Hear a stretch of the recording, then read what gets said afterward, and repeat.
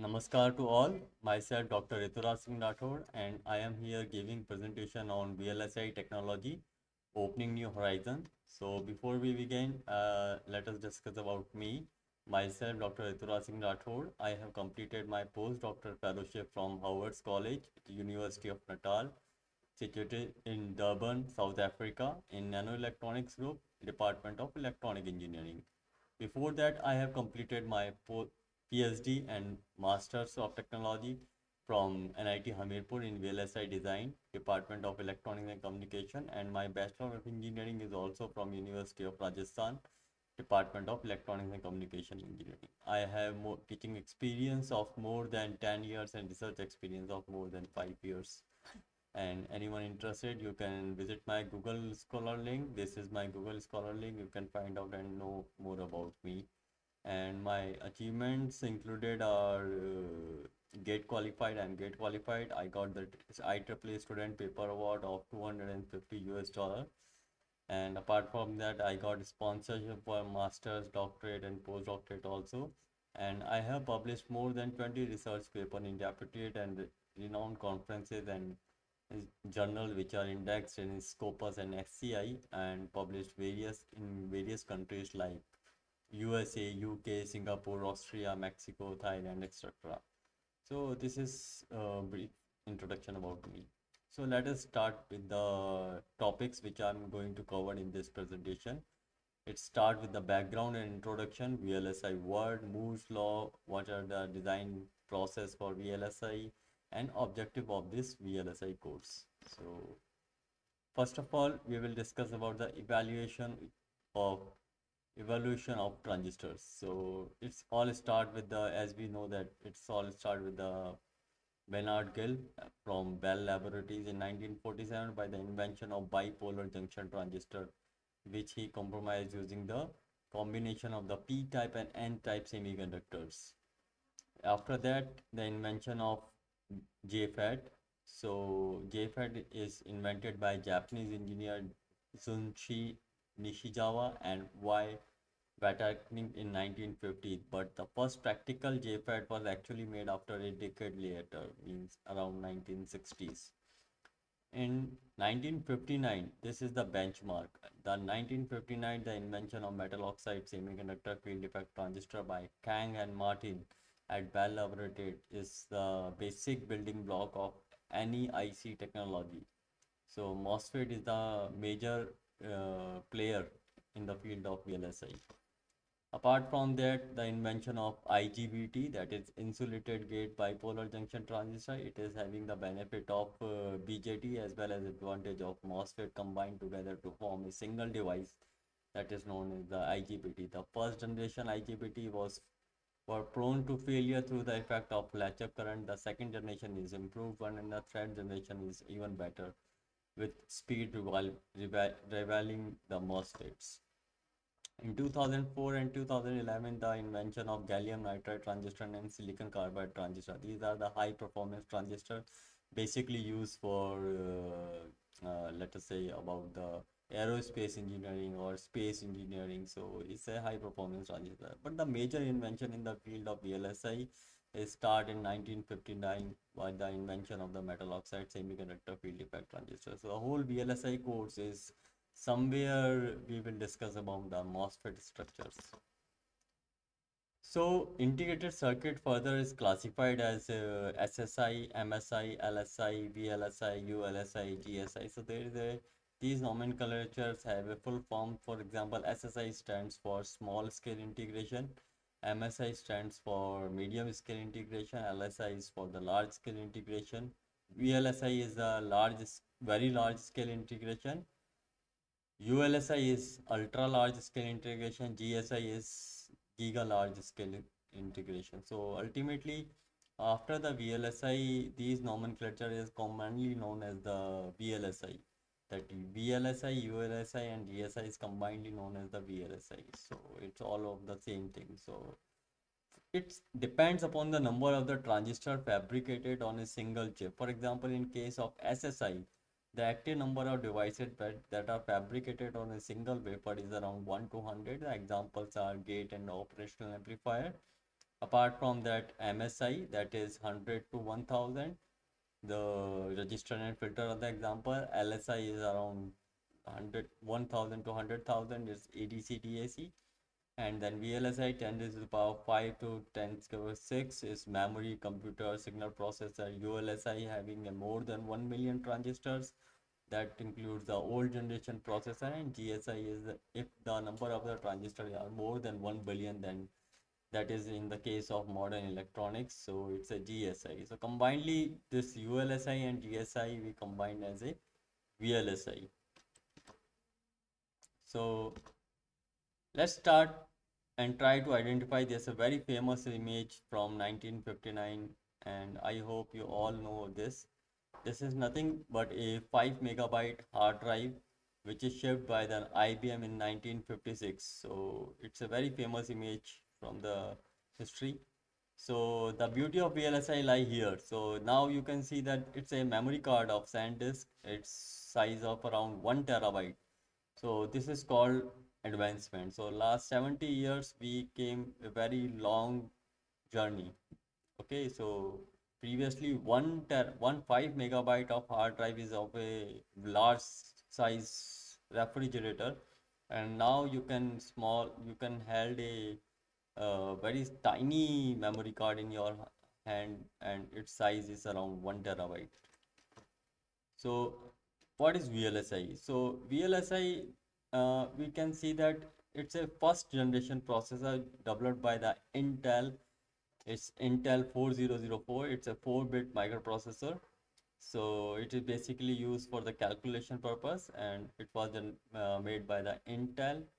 Uh, the it Intel company is co-founded by Mr. Gordon Moore and uh, they uh, you will amazed to know that there is a full form of Intel also. Intel stands for INT stand for integrated and EL stands for electronics. So full form of Intel is also like integrated electronics.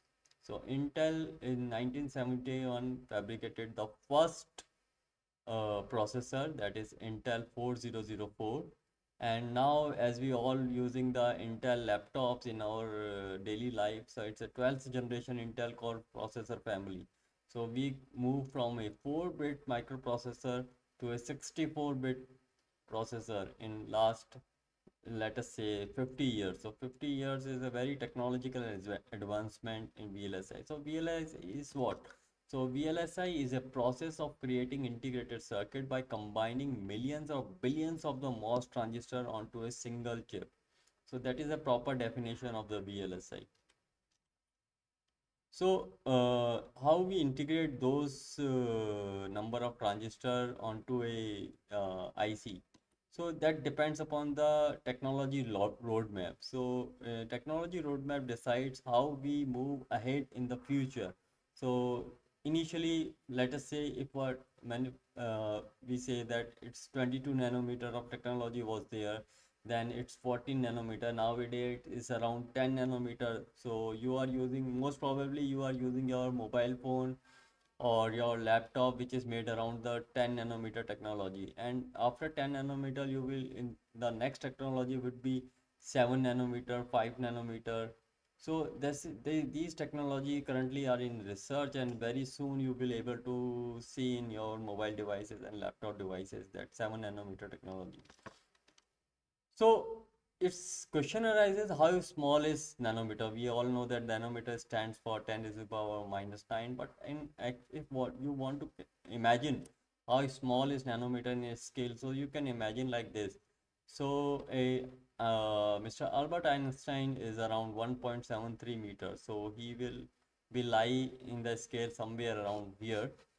And uh, the fly size is around 7 nanometer, 7 millimeter. So it's around here. That's my 300 nano micrometer. Somewhere around here. The blood cell is around 7 micrometer. It's like here. It's a virus, like let's say coronavirus. So it's around here. So it's 100 nanometer of size and this is a lattice of silicon atom so interatomic distance is around 0.24 nanometer it is less than uh, a quarter nanometer so it's somewhere like this. So if you want to imagine how small is a nanometer, so you need to see your fingernails. So average human, the nail growth size is around 1 nanometer per second.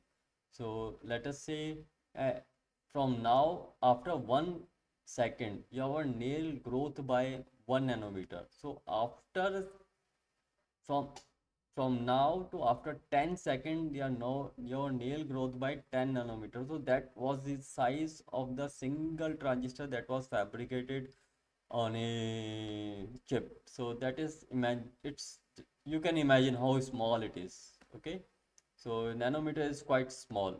So that's how we integrate all those tiny transistor onto an integrated circuit and we make connections also. It is not about the just integration of the transistor. We need to make the connections and circuits also. So it's a very complicated process. So uh, if you want to know the cost of the VLSI chip for example the Intel Core i9 processor it's roughly around 40,000 INR but it is having around 10 billion transistor fabricated on that uh, that IC so if you know that it's a rice of grain so one kilogram rice of grain is around uh, 100 rupees. So in one kilogram it is roughly around 50,000 grains you will get. So is as far as cost cost per transistor is much lesser than the even a single grain of a rice. So per transistor overall cost is much less than the single grain of the uh, rice. So you can imagine. So it's all start with the Moore's law uh, Moore's law Mr. Gordon Moore's which was uh, initially employed in the Fairchild Semiconductor after resigning from Fairchild Semiconductor he uh, uh, along with Mr. Robert Noyce he uh, started his own company that is in known as the integrated electronics or we commonly known as the Intel.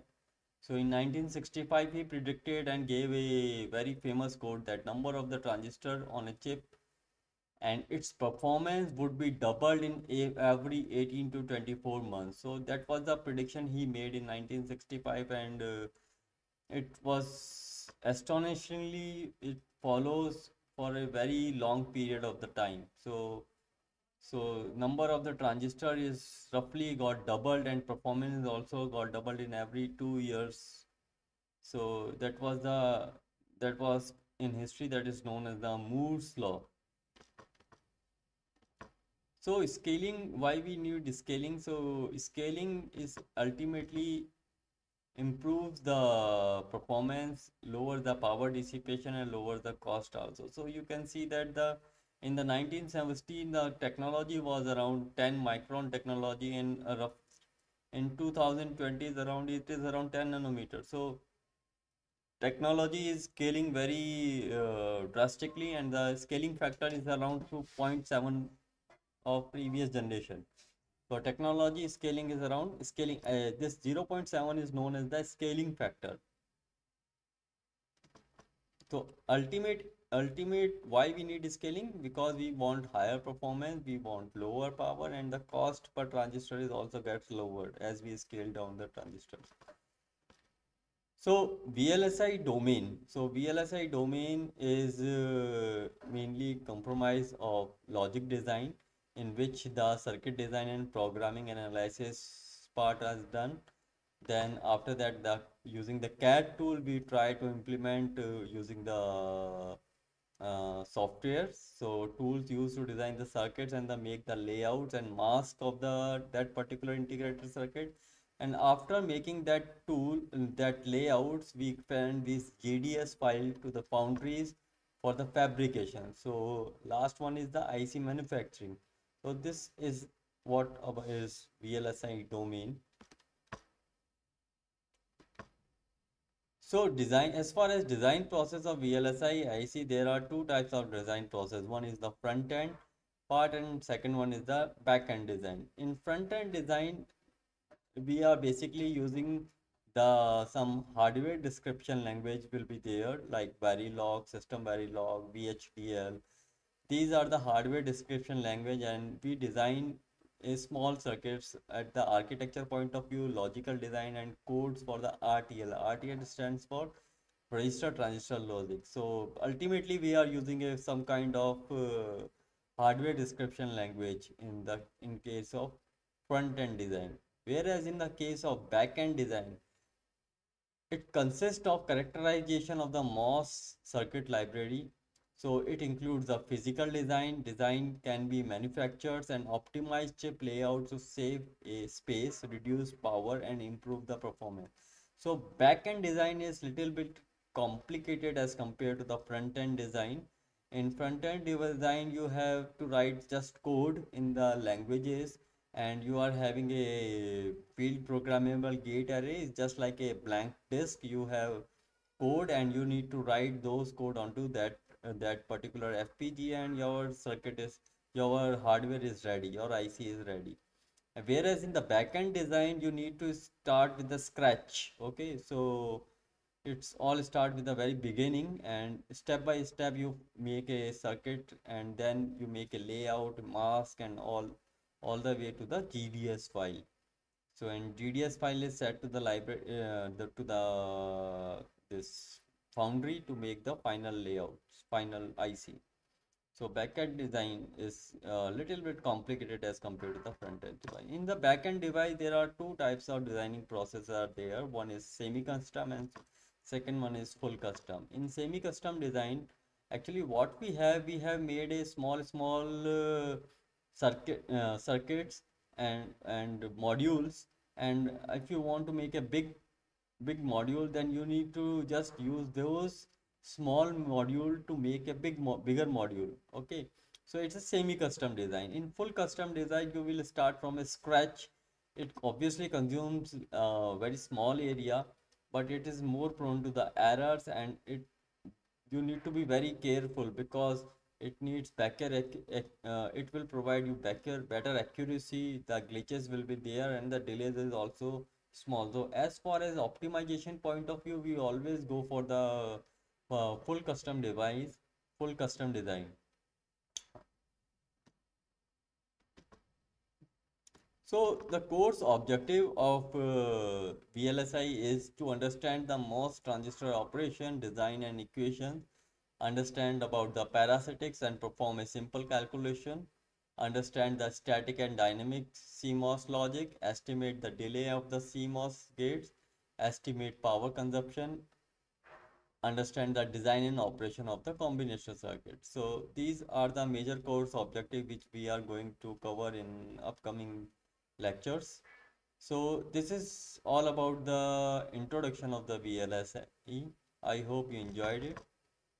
Thank you. Namaste.